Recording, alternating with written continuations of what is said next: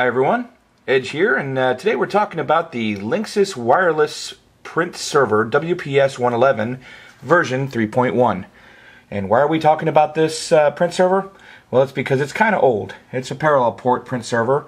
I currently have it hooked up to an old, uh, not very old, but it's a LaserJet 2100 TN.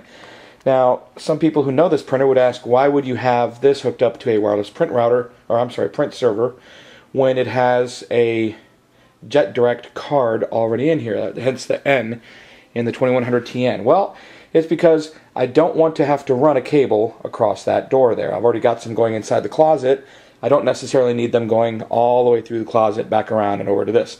So I connected it to my Linksys print, uh, print server, which I've had laying in the closet for the last couple of years.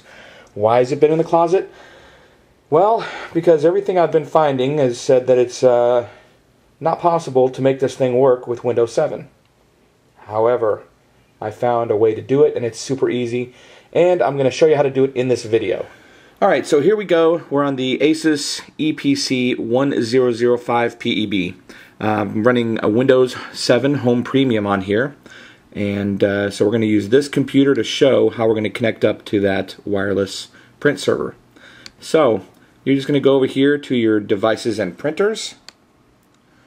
Once in devices and printers, uh, it's going to come up with your, uh, hopefully, a list of any printers you may already have connected. Um, I have one. I have a Kodak ESP7 that's connected. So I want to go here to add a printer. We're going to add a network, wireless, or Bluetooth printer. And then as it's searching for available printers, we're going to uh, tell it to stop and then we're going to select the printer that I want isn't listed. Then we're going to say add a printer using a TCP IP address or host name. Now hopefully you already know what the TCP IP address or host name is of your printer. Now um, I know what the IP address is. On my network it's 192.168.1.34.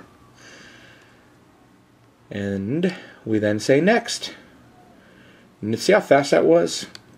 Now it says custom. For device type, we're going to say custom and go to settings.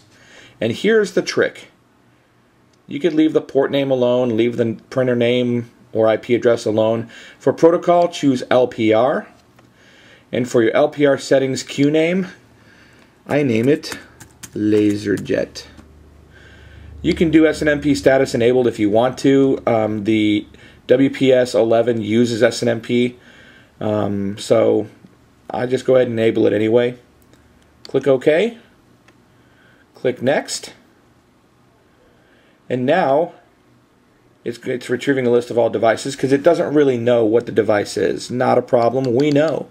We know that it's an HP LaserJet. So we'll select HP from the drop from the list here. We will scroll down until we get to LaserJets. And uh, I've only seen the 2100 series once, and I don't know how it happened on one of my computers. Uh, all the other Windows 7 computers I have, they all they don't show the 2100. They will only show the LaserJet 2200 series PCL5. And guess what? It works. Now we're going to go ahead and name it uh, HP LaserJet 2100 only because I'm anal like that. And we'll get rid of the, well, it doesn't matter. We can leave PCL5 on there. It's I'm cool with that. And now it says ins installing printer. It's literally that easy.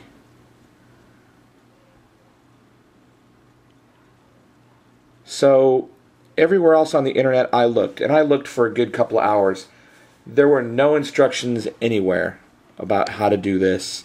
Um, all indications um, for me was that it, it wasn't going to work. So I literally just sat here and messed around with it until I found a way to make it work. Now I'm going to go ahead and print a test page. Let's see what happens. It says a test page has been sent to the printer. And guess what? I don't know if you can hear that. But there's the printer.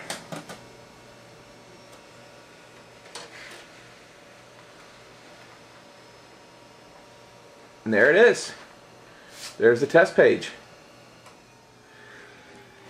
So, that's all it takes to get your Windows 7 PC working with the Linksys WPS 11 print server and a laser jet. So I guess you know maybe uh, maybe the fact that it's a laser jet, I don't know. But for whatever reason, it works. Um, so there you have it. Um, hope this helps. Hope it works for you. And uh, as always, EJ out.